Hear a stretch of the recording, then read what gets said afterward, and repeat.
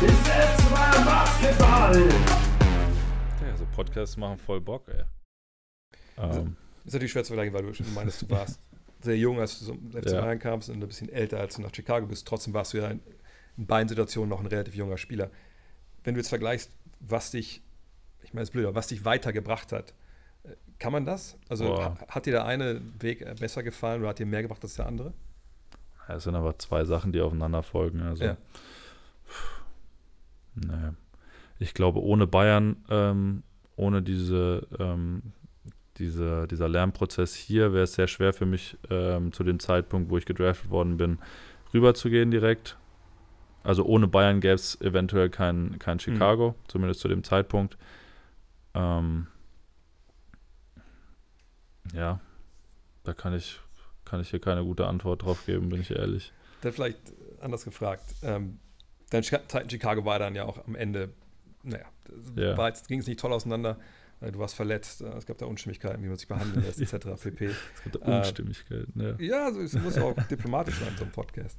Ähm, ist es anders, wenn man so, so schaut, wie, wie, wie jetzt der FC Bayern zum Beispiel oder auch Teams in Europa mit ihre Spieler behandeln und wie sie das verstehen, die Zusammenarbeit äh, im Gegensatz zu, zur NBA? Ja, also hier in Bayern, ich kenne den Verein jetzt einige Jahre, es ist wirklich immer wieder wird betont, dass äh, Spielern geholfen wird, dass wir eine Riesenfamilie sind. Ähm, und das Gefühl hatte ich ähm, gerade im zweiten Jahr in Chicago äh, auf keinen Fall. Also ich war sehr überrascht, wie da Dinge ablaufen ähm, und wie viel Business eigentlich in diesem äh, in dieser Liga oder in einem Club dann steckt. Also ähm, nach meinem ersten Jahr dachte ich, okay, ich könnte einige Jahre hier bleiben, ich könnte äh, vielleicht einer der, der ähm, Stammspieler so werden, die wichtig Hm. sind, so eine Säule im Team.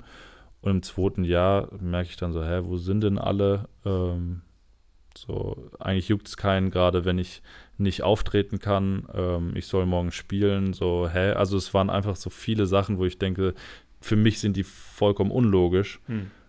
Und dann bin ich im Sommer nach Chicago mit eigentlich einer Sicherheit im Kopf. Ich habe eine Verletzung. Irgendwie, ich habe eine Verletzung, aber irgendwie konnte ich es auf den Bildern in Chicago nicht sehen. Ich komme hierher, wieder zu Jochen, da sind wir wieder. Und er sagt mir, ja, du Paul, äh, also wenn du auf dem Bild, das siehst ja selbst du. Und ich so, hä, das ist ja kaputt. So, und dann Das bin war ich wieder. Ermüdungsbruch, müssen wir sagen, im, im Fuß, ne? Wie? Das war ein Ermüdungsbruch Ja, genau. Fuß, ne? Und dann komme ich wieder zurück zu Jochen und dann ist wieder von Anfang an, ich rede wöchentlich gerade mit ihm. Also er war ähm, sehr, ja, sehr gut und sehr viel für mich da, einfach weil ich immer wieder eine Verletzung hatte. Ähm, und hat mir da geholfen. Bei ihm hat es da angefangen, dieses Family-Gefühl.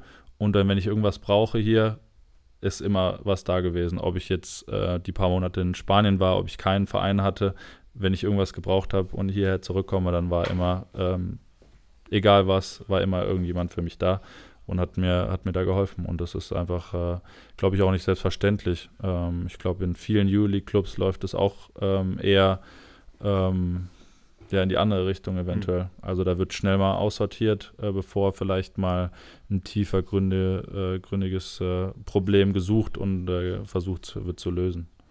Ich finde, es ist ja auch, glaube ich, in Europa, obwohl in NBA gibt es auch stellenweise was wie von Franchise zu Franchise unterschiedlich, aber ich finde, Ja, ja. es ist schon wichtig, dass man so, so einen ganzheitlichen Ansatz hat. Oder dass man eben nicht nur sagt, okay, der Botzipser spielt ja Basketball, ja. sondern ne, man versucht dem auch dem alles zur Verfügung zu stellen, was er halt braucht, um seinen besten Basketball zu spielen, oder? Ja, und ich glaube, da gehört einfach auch gewisse, also irgendwie ein bisschen Glück dazu, dass man irgendwie an den, äh, an den richtigen, an das richtige Franchise, das zu einem passt, das das gibt, was man selbst braucht, was der Körper oder mental, was man braucht. Äh, das muss einfach passen. Ähm, und im zweiten Jahr hat das halt für mich nicht gepasst. Ich weiß, dass Maxi super gut zum Beispiel, einfach nur, Ja. weil ich gut befreundet bin mit ihm und ich weiß relativ viel, äh, wie, wie in Dallas Dinge ähm, gehandhabt werden und ich weiß einfach, das war perfekt für ihn, wie ich gehört habe, ey, Maxi könnte nach Dallas kommen und ich war direkt hin und weg und ich glaube, das passt und man sieht ja, wie er sich entwickelt hat und was er, was er dem Franchise bringt. Also das ist dann auch wieder ein Beispiel, wo ich gewusst habe, okay, ähm, das, das ist perfekt. Ja, liebe Basketball-Fans, wenn euch das gefallen hat, dieser kleine Ausschnitt von Open Court, ab jetzt gibt es alle zwei Wochen neue Folgen. Link findet ihr unten in der Beschreibung.